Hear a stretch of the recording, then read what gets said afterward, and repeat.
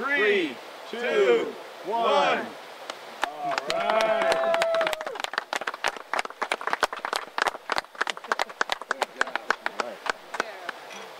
Okay, we ready? Yeah.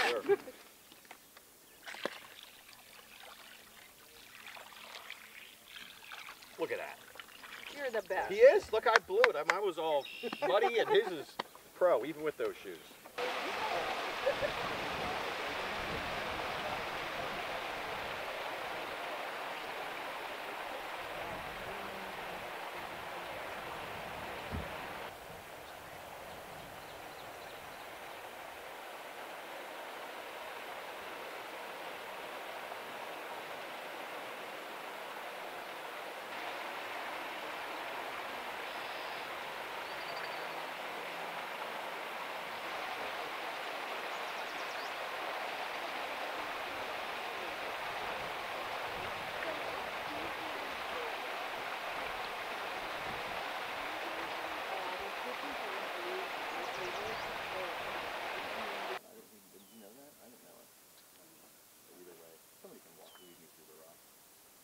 Yeah, well, you can still do them for about 20.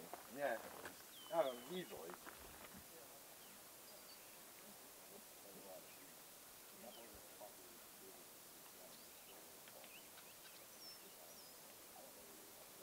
Okay, well, thanks everybody for being here. This is uh, one of those events where I have notes, but I don't think I'm going to need them because of how long we've been working on this.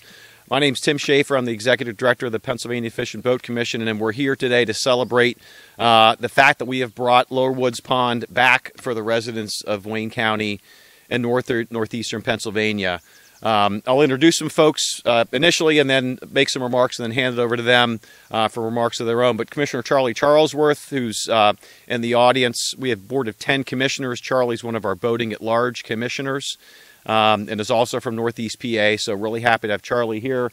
Representative John Fritz, who um, literally, I think I was his first meeting in his office when he got elected talking about the dams. So, Thanks to John for being here. Senator Lisa Baker, who's been at our side throughout this these travails through her whole district. Uh, Daryl Pierce is our area fishery manager. He's going to talk a little bit about how the lake will get rebuilt and what the golden shiners that we're going to be stocking today will be doing. And then Paul Urbanik is the director of our Bureau of Engineering. You may have seen he and I shaking hands at the end, like out there at the little moment earlier today uh, celebrating the fact that this was brought back. So um, that'll be our lineup of, speakers with brief remarks. But just to kick it off, so this wasn't part of my script, but driving here, I had two metaphors on the drive that sort of summed it up. At one point, I saw a crow eating a dead steak on the road. And I think a lot of points people thought that these lakes were just going to be dead and they weren't going to come back. A little bit further on, this is true, I saw a snapping turtle crossing the road and he's going real slow and I'm on this rural road and no one is around. So I just stopped, let the thing cross the road. And I thought that sort of sums up what's happened here uh, with the lakes in Wayne County. And I would say one down, three to go um, when it comes to the lakes here. We're here to celebrate Lower Woods, but please know that we're going to go to construction on Belmont to fix that lake this summer. And then the highly anticipated Miller and White Oak projects are both coming together with the permitting coming together and fully expect to be out to bid this year uh, for both of those projects. So what you see here, we're gonna going to be hopefully replicating uh, across Wayne County um, in, in, the coming months. So what what you have here, um, when we got the bad news about having to drain this back in, back in 2012 um, there was a leak in the dam, and we manage about 50 dams across Pennsylvania, and 30 of them have been in this high hazard, unsafe category. Um, you feel free to go in front of the camera. Come on, you're good. No sweat. Um, so about 50 dams that we manage on behalf of the Commonwealth, and uh, about 15 years ago, to meet current dam safety standards, we realized we needed to fix uh, about 30 of them, and it's about $150 million. So, over the course of now four governors, um, multiple members of the General Assembly, thankfully, um, Senator Baker's been with us the whole time. Um, we got an initial amount of funding uh, released, but was backed by Governor Rendell to begin the design. Then, when Act 89 uh, was passed, that diverted the full amount of motorboat fuel tax revenue to our agency. And one of the primary things that we do with those dollars, and I remember talking to Mike Peifer about this a lot, saying, hey, those motorboat fuel tax dollars from Lake Wallenpaupack ought to be staying here locally. And, and we can tell you that they are to help fund projects like this. And then Governor Wolf, on two different occasions, released about $25 million uh, uh, for various projects across Pennsylvania. Throughout the way, we've been taking advantage of other state, federal grant programs. Local sportsmen's clubs have helped us um, to put the funding together to make projects like this happen. So, Lower Woods ended up being about a $2.6 million project. Again, Paul is going to explain um, sort of how the dams work. We're actually standing on top of three dams, but that's wanted to give you that landscape to put this one in, within context of of sort of the monumental effort that we've been. Uh, uh, under for the last really 10 plus years, but that snapping turtle did good across the road. Um, we're getting across the road, and we're really happy to be here today. So, with that, I'll, yeah, good. We'll take that for applause. Um, and so, with that, I'll turn it over to my friend Senator Baker for some remarks. Sure. Good morning, everyone. What a beautiful day to celebrate in Wayne County. And Tim, to your perseverance, your commitment, and your tenacity, when we first started talking about the impact of losing all of these high hazard dams and what it meant to our sporting heritage in Wayne County, it was devastating. Um, and, and so, to you, to the board, Mr. Charlesworth, to our friend Bill Gibney, who couldn't be here, thank you for your leadership at the board level. This is a monumental day, and I'm delighted just to be here to celebrate. When we think about the impact, not just to the people who live here in Wayne County, but the people who come and visit. We have friends here from Bucks County who came over today because they hope to relocate here we know that assets like Lower Woods are going to help us bring more people here who want to live and work and play in northeastern Pennsylvania. So congratulations. Delighted to be here. Thanks, Senator. Thank you. So next we'll have John Fritz. And before before he comes up, so I mentioned how when he got elected, and we had talked to Sandy Major about this a lot, but he comes in and literally i don't think he had, he was barely had moved his office in. And little story i don't I think he might remember this. The reason i was his first meeting was because he had just gotten elected and I was, I was going deer hunting in northeast pa that weekend. I thought well maybe i could sneak in a meeting and then get out in the woods in the afternoon. So there was some self-interest in the timing of that meeting. Um, but when i broke the news to him similar with senator baker that hey we've got you know a lot of dams um, that need to get fixed here. We think we've got a plan. We think we can get the funds together um, uh, John Fritz has been a great partner the whole time, so we'll turn it over to Representative Fritz. Thank you, Tim. Appreciate you. So, friends, uh, his his uh, his take on things is accurate. When we got started with this process, no kidding, I actually had a full head of hair, and now look at me. But uh, but to be standing here on this beautiful structure built by local contractors, this is just a, a, a remarkable job. And, and I guess I'm just going to sum it up, and I'm just going to put it out there. Hot damn!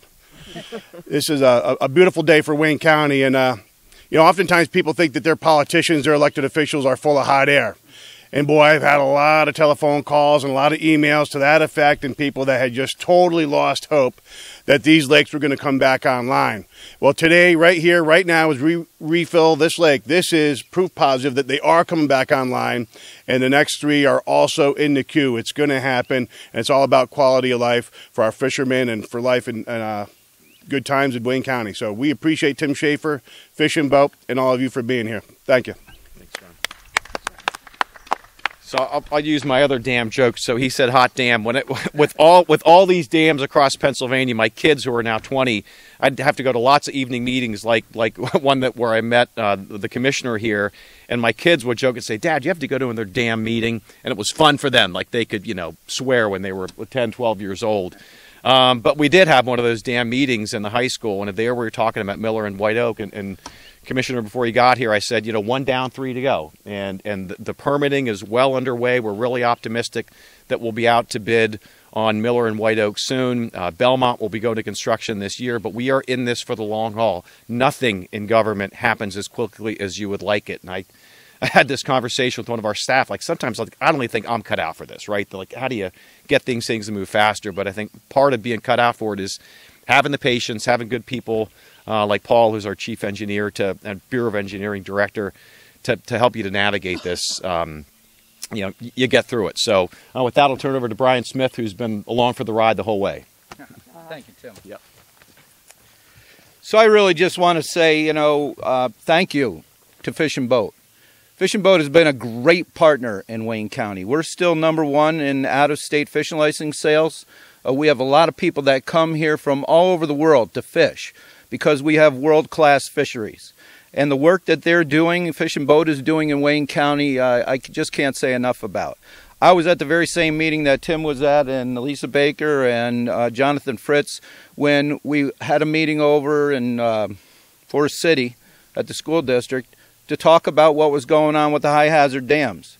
I watched Tim shed a tear when he was able to say, I could tell you now, and I can't always say this, we have the money in place to rebuild these dams, and this will happen. So to see this come to fruition just should reinstill in everybody that the integrity of Fish and Boat is there. It's strong. They have a partnership here with us in Wayne County, and we'll have a partnership in Wayne County for a long, long time. The work that they're doing at the fish hatchery and the work that they're doing at these ponds, at Lake Wallenpaupack with the walleye and uh, you know and the trout that we have is just incredible. And people actually do come here from all over the world. So thank you to Fish and Boat. Thank you for the partnership that we have, and I look forward to all the projects that we have lined up for the future. And and again, I can't say enough about these guys. Thank you, Tim. Thanks, Brian. Thank you. Thank you.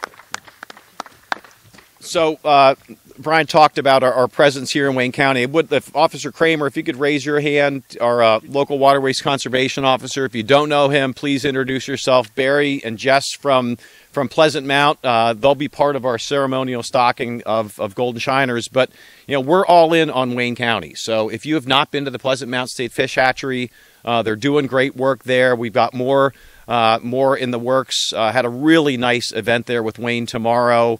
Uh, back literally it was the day before the opening day of trout season when it would not stop raining, uh, but luckily it finally has.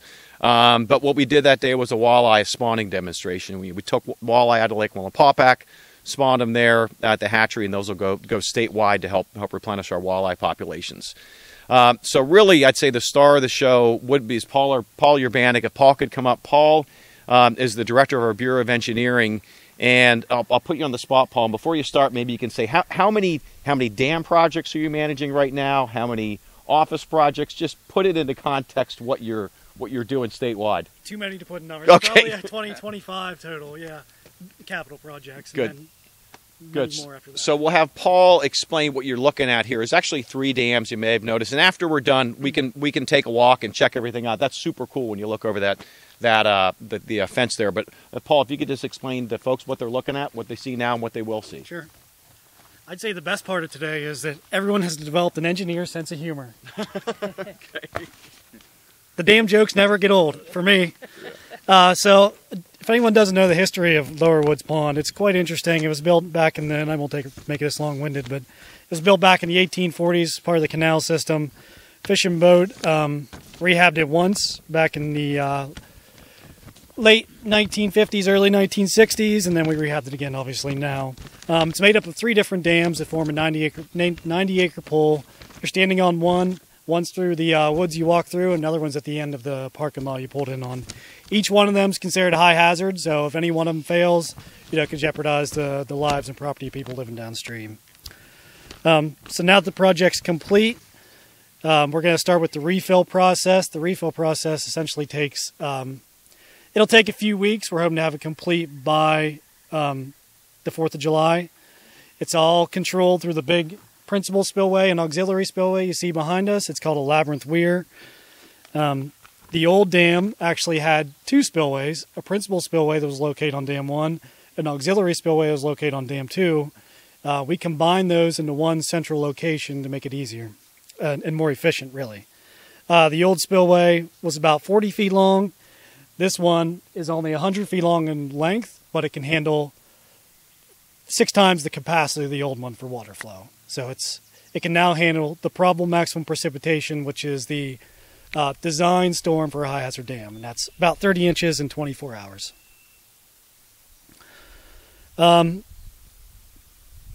now that um, we're starting the refill process, we're also going to be, you know, brushing up the area. There's still construction's mostly complete, 90% complete. We still have a few finishing touches. We still have some grass that needs to, to be seeded and replanted, overseeded. We need, need, need to make sure grass is growing. Um, we're going to be working on the boat launch ramp, putting some new docks in, and just uh, dressing up the areas for the, the for the boaters and anglers. And then uh, on top of that, we have many more projects to come here in Wayne County. Uh, Belmont Lake, which is right down the road. I guess they're all right down the road, but Belmont Lake is um, it's it's a recreation lake, but also supplies water to our Pleasant Mountain Fish Hatchery. That's going to get started here uh, later, early this summer, probably late June into July or in July. And then we have uh, Miller Pond and White Oak Pond, which uh, likely to go out to bid late this summer and be in construction next year. So, good things to come. Any questions on the dams, other lakes, projects? No, another dam joke? Yeah, no.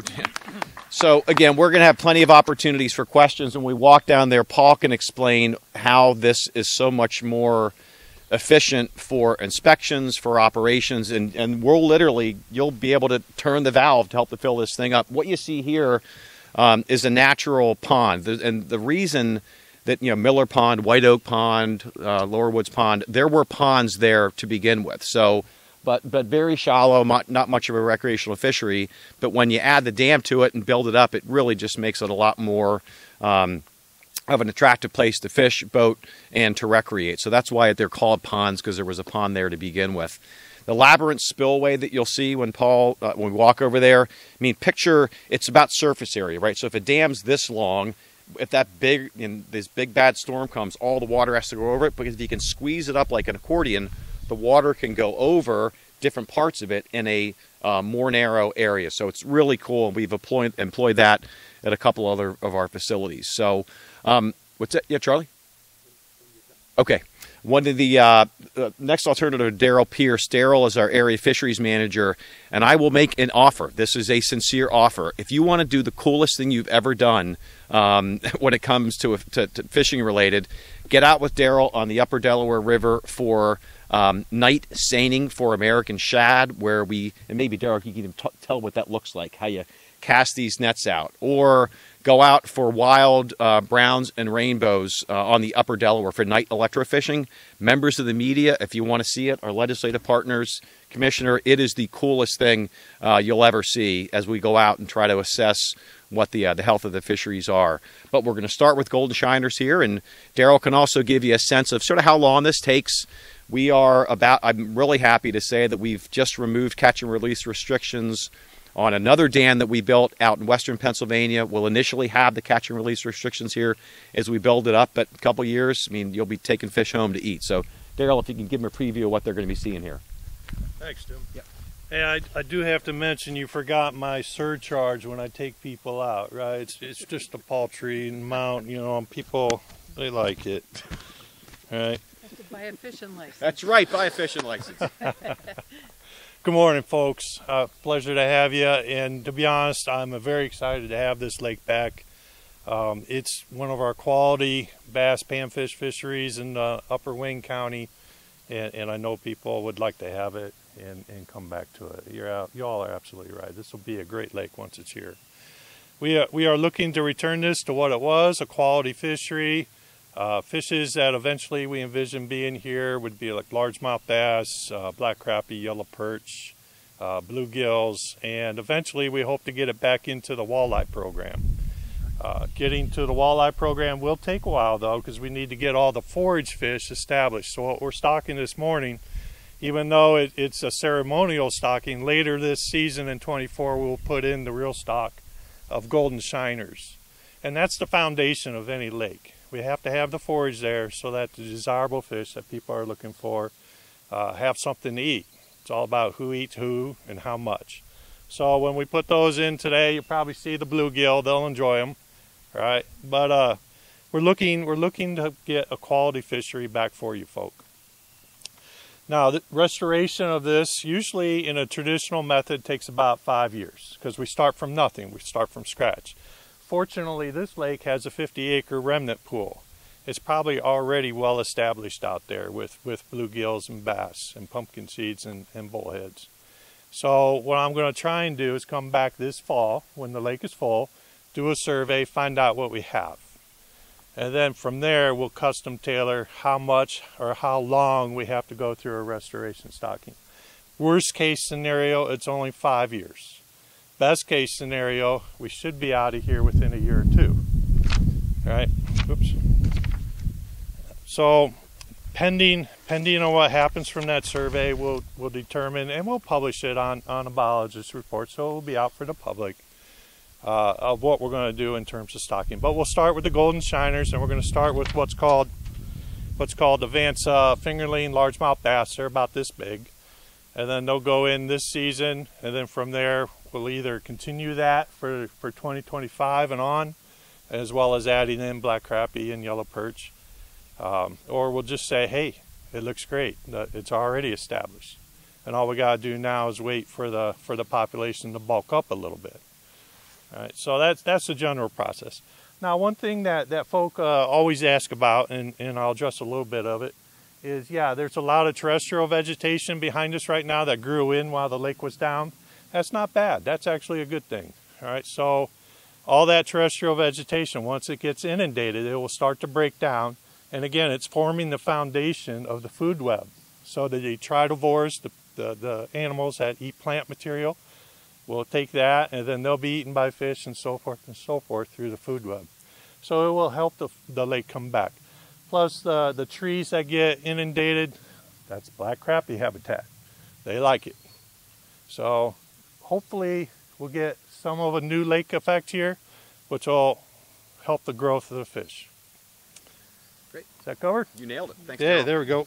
Yep.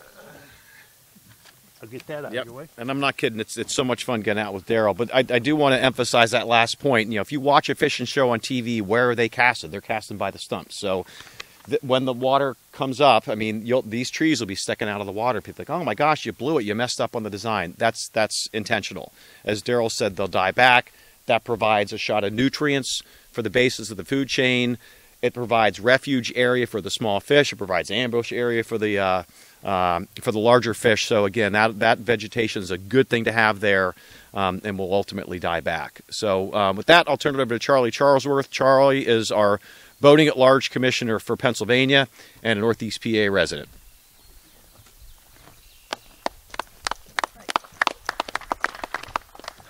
Good morning. On behalf of the Board of Commissioners, uh, I'd like to say that projects like this give us such great pride in being members of the Pennsylvania Fish and Boat Commission. But it's also an opportunity opportunity for me as a boating commissioner uh, to dis- discuss Safe Boating Week, which is coming up in another week, uh, 18th, I believe it starts. Eight. So we're asking everyone to practice safe boating no DUI while boating, and I'm going to steal a little bit of Tim's thunder. Wear your life vest. Thank you. Thanks, Charlie. Good message. Yeah, that's and I'm I'm glad Charlie said that. Na- National Safe Boating Week is always the week before uh, Memorial Day. Annually, 80% of the boating fatalities are people not wearing their life jacket. And I, I'll be honest, I don't care if you remember anything we said about this dam today. But if you remember to wear your life jacket, uh, there is nothing worse.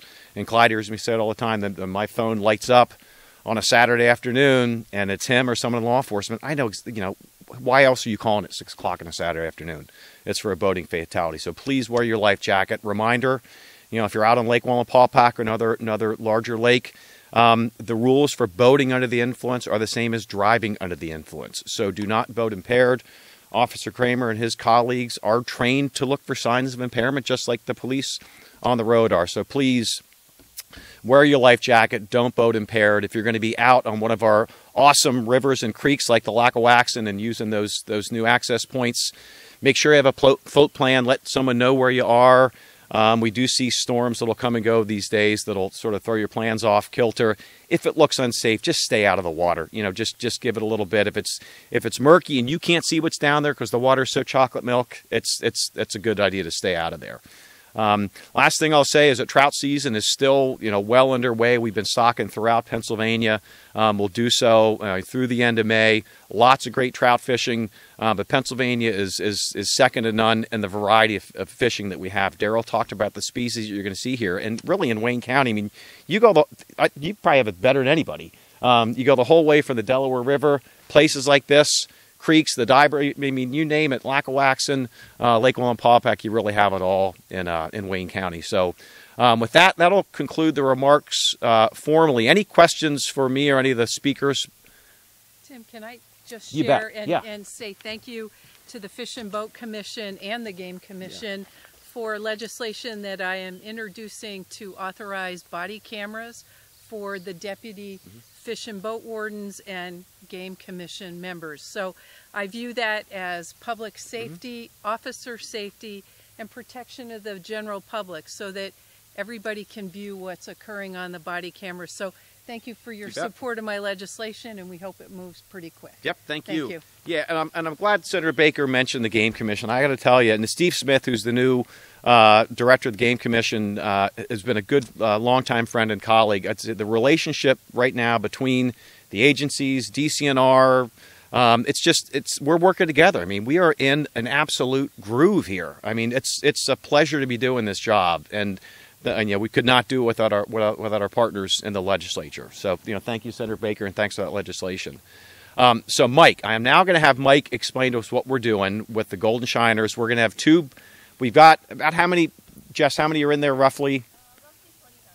Okay, so that's a lot of little fish. And so, what we can anybody will maybe start with the legislators here, but anybody who and like local residents who think it'd be cool to help us dump some in there ceremonially, what we can do is um, fill the buckets with water, put the fish in there, and then we'll literally just walk down there. Might be a little rough, might get a little wet, um, and then we'll put them in the uh, in the lake. And I will give Mike Parker credit for the golden buckets. Uh, we did that for the first time. I think that was at Meadow Grounds Lake out in Fulton County. A cool idea, right? You know, golden bucket to celebrate bringing it back. So we'll we'll go down there, do the ceremonial stocking, and then if anybody, in particular reporters, a really neat image would be looking down in there, and you know, Paul could do an interview and explain what you're looking at. So, okay, Mike, it's all yours.